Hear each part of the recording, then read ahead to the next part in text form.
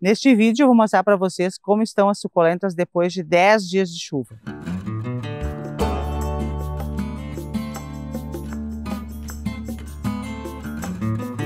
Olá, eu sou a Ângela, aqui da Fazenda das Suculentas, cidade de Sapiranga, Rio Grande do Sul. Eu vou começar por esse cantinho aqui, que é o, as últimas filmagens que a gente fez aqui, né, para vocês acompanharem. Então choveu 10 dias seguidos, tá? Então, hoje, segunda-feira, é o dia que deu a pausa na chuva, que a gente vai poder dar uma olhada como estão as coisas. Então, o que, que a gente faz depois de tantos dias de chuva? O que eu aconselho é sempre vir uh, recolher as folhas secas que vocês encontram, né? Isso aqui a gente vai juntar, tá? E como vocês podem observar, uh, tá tudo bem e ok aqui, tá? O que tem que cuidar sempre é um substrato bem drenado, sempre plantar a, as coisas no jardim que tenha um declive bom, né? Porque se ficou úmido lá, essa água vai descer. Nunca faz plano nem enterrado, né? Que vai uh, acumular água. E a gente tem que contar com a sorte, com o tempo, né? Não tem muita coisa para fazer. Normalmente dá tudo certo, mas às vezes não. Então, tem as bacias que a gente plantou esses dias. Então, Olhando assim por cima, tá tudo ok. Se vocês uh, quiserem recolher uma bacia da chuva, porque tem uma planta muito especial, vocês até podem, né? Cada um faz assim de acordo com a sua possibilidade e tempo, né? Mas normalmente, ó, então quando chove demais a folha não fica seca, ela fica úmida, ó. Então apodrece. Então é bom sempre retirar isso aqui na chuva para não ter problema de, de fungo, tá? Se vocês não querem, não tem tempo disponível para recolher bacias ou tapar da chuva, tem que deixar e observando e fazendo essa manutenção. Se tiver uma planta que apodreceu, alguma espécie que não aguenta a chuva, aí tu substitui por uma outra, né? Não vai ficar tendo esse trabalho de ficar tapando, botando sombrinha ou plástico, né? Então recolhe, já coloca num lugar que não pegue chuva ou troca aquela planta que não funcionou. A gente não sabe, cada um tem um ambiente, um lugar, né, uma temperatura. Então aqui a gente vai fazendo experiências. O que não funcionou, eu não coloco no jardim, não coloco na chuva, mas a maioria delas funciona, né? E tu vai fazendo a tua manutenção. Essa aqui é uma bacia, por exemplo, que a gente plantou há pouco tempo. Isso aqui é a Lovely Rose, tá? Então aqui, eu queria mostrar para vocês, ó, tem bastante folhinhas que podem dar fungo, que apodrecem. Então a gente recolhe essas folhas, tá? Que estão aqui atrás, que está molhado. E esse é o momento de vocês usarem a misturinha da água oxigenada, tá? Que é aquela mistura de meio litro de água, duas colheres de sopa da água oxigenada volume 10. Então vocês vêm aqui e vão passar isso aqui embaixo, tá?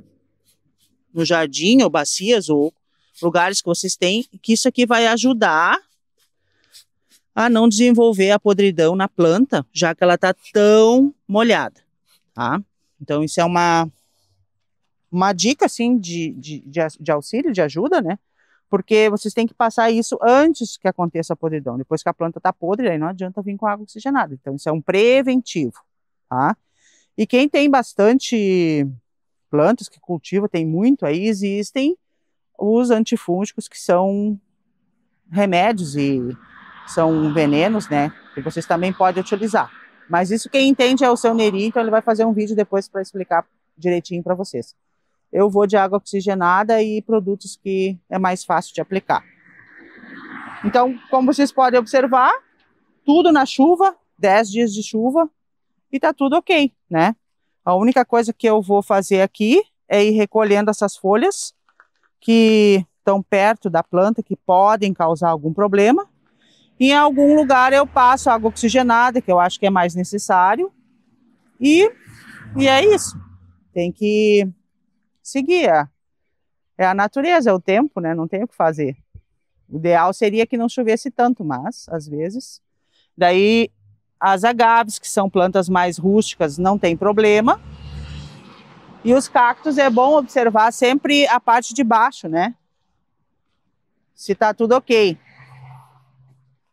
Né? A gente olha na raiz, se não tem nada preto, se não tem algum problema de podridão, porque se por acaso ele apodrecer por causa da chuva, aí vocês têm a possibilidade de cortar, né, e salvar a ponta, tá? Pode acontecer com uma espécie grande, pequena, tanto faz. Então, por isso que a gente tem que observar, olhar, ir com atenção e para conseguir manter ou salvar alguma planta que tu queira. E daí a gente dá uma geral por aqui e vai observando o que que tá bem, o que que não tá e para tentar recuperar alguma coisa que não deu certo, onde choveu demais. Agora eu vou levar vocês para observar os jardins que tem em volta da loja, que tem muitas coisas em bacias, que também pegaram toda essa chuva, que não estão no chão, e a gente vai lá ver como é que tá. Então aqui essa parte toda que tem aqui, pega toda a chuva que caiu. Uh, os vasos ficam um pouco para fora, né? Esse nosso jardim interno aqui, ó, como vocês podem observar, não tem telhado aqui, então também pega toda a chuva. Então tem que fazer sempre muito bem drenado, né? E alguma outra coisa a gente tem que ir trocando de lugar. É manutenção normal de jardim, né? Faz parte. E como eu disse aí, vocês têm que olhar, observar aquilo que não deu certo, vai trocando. Se apodreceu alguma coisa, tem como salvar. Porque se tu não faz esse olhar, né, de, de observar e tu pode perder a planta, porque daí não deu tempo de salvar, né? Ela apodreceu totalmente. Porque com a chuva apodrece mesmo, é normal. Aqui na fazenda também, como em qualquer jardim que vocês tenham aí. Isso aconteceu com a Jade Variegata, vocês lembram? A gente fez o vídeo, eu fui fazer a poda, eu achei que ela não estava bem e ela estava apodrecida e nem era período de chuva. Então, faz parte, é normal. Então, eu consegui salvar muito dela porque a gente conseguiu olhar a tempo. Deixa eu mostrar para vocês aqui uma floração aqui. Nesse Sanderci aqui, olha que coisa mais linda. Vai encher de, de flores. É bonito, né? Nessa observação do, do jardim não é só para ver problemas, né? É para encontrar essas coisas também. Então tem que olhar o jardim com carinho e curtir, porque é muito bom trabalhar com as plantas, né? Apesar de dar um trabalhinho, mas faz parte, é uma dedicação bem saudável e a gente encontra as coisas lindas também. Toda essa parte é de chuva e a gente tem alguns vasos, algumas coisas no chão e elas estão funcionando bem. Uh, deixa eu passar aqui. Lembram a rosa do deserto gigante que tinha aqui que a gente retirou. Então agora a gente já colocou outras coisas aqui para ocupando o lugar. E daqui uns dias a gente vai plantar ela. Então, como a gente tirou ela dali, um dia antes dessa semana de chuva, ela ainda não foi plantada. Então ela está guardadinha lá para quando voltar o sol, a gente vai fazer o vídeo plantando ela, aquela gigante. Aqui nessa parede onde eu tenho a minha coleção das estapélias, aqui tem também tem uma flor, ó. Aqui eu uso bastante a misturinha de água oxigenada, porque são vasos pequenos, né? Então a gente tem mais facilidade de manter essa manutenção. O jardim, o jardim é grande, algum outro detalhe lá que tu vai mexer, mas é, mas aqui como pega bastante chuva e é um vaso, como pega bastante chuva, eu também uso muito a cerâmica, né? porque ela vai secar melhor. Aqui tá cheio de botãozinho também. Essa parte aí, mais uma flor. Ó, então essas são as compensações de olhar o jardim. Então a chuva não necessariamente é um problemão, né? A gente só tem que ficar mais atento, observar e faz parte. Chove, chover vai chover todo ano, vai ficar frio, agora vem geada, e daí a gente vai lidando com os problemas, mas nada que a gente não consiga resolver. Se vocês tiverem dúvidas aí, perguntem pra gente, a gente vai fazer agora vários vídeos, agora no frio, no inverno, né, para ver o que, que a gente faz, o que, que tu pode fazer para ajudar. E quem tem regiões quentes aí não, não, não tem esse problema que a gente tem aqui. E quem tiver interesse em mini jardinagem, a gente tem um curso, vai aparecer um card aqui.